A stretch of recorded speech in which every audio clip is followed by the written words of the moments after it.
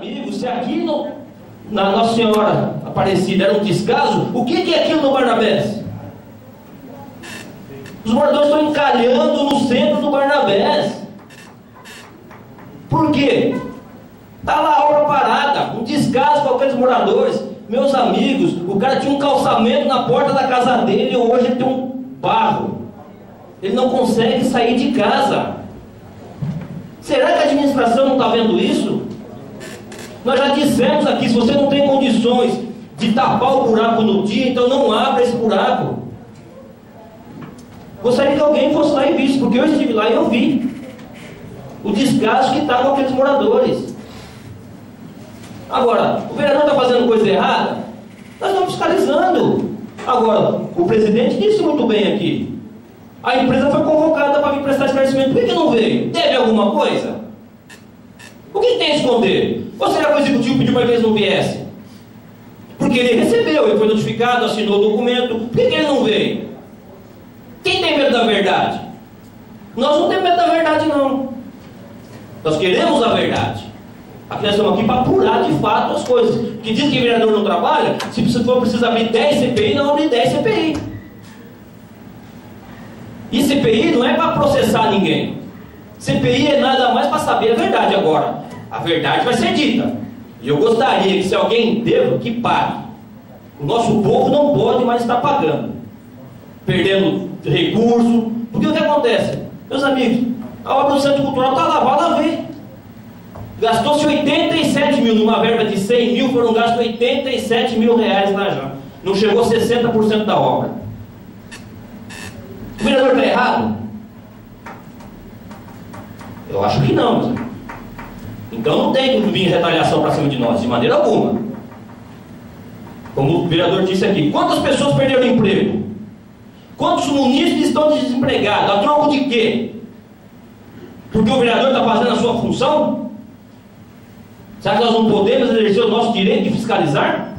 Que esse é o direito do vereador. Agora, por que punir os vereadores por causa disso? O vereador não está vivendo de favor também, não. Nós estamos fazendo o que é de direito.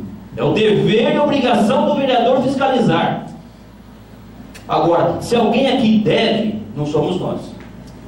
E eu gostaria que se a prefeita, assim que nós apontarmos o fato, realmente se alguém deva, que ela faça pagar.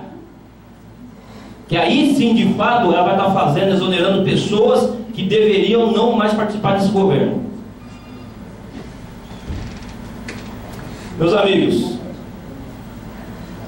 então a gente fala, os erros existem. Quem paga por esse erro? É a população? Até quando a população vai estar pagando pelos erros de alguns? Não podemos mais errar. Já falei para vocês. Ah, o fulano errou, mas errou e daí o prejuízo está lá. Quem paga?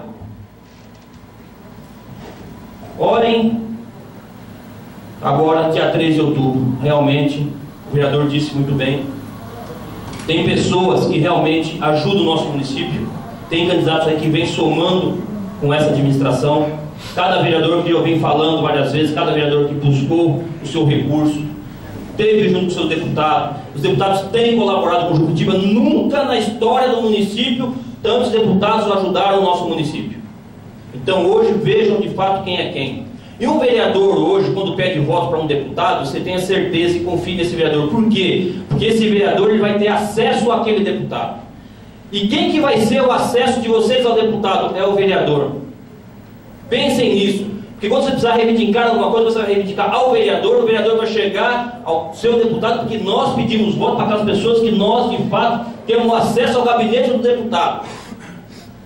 Como nós já tivemos desde o ano. Mais um minuto só para concluir, senhor presidente, só vereador. Como nós, desde o ano passado, nós vemos batendo de porta em porta pedindo recurso. Deputados não virou as costas, não viraram as costas para nós, não. Eles atenderam, por isso que eu falo que cada vereador aqui trouxe seu recurso para o nosso município. Então, gente, confie naquilo que cada vereador aqui peça o voto. Porque eles vão representar, nós vamos representar vocês perante aos deputados. Meu muito obrigado a todos e tenham uma boa noite.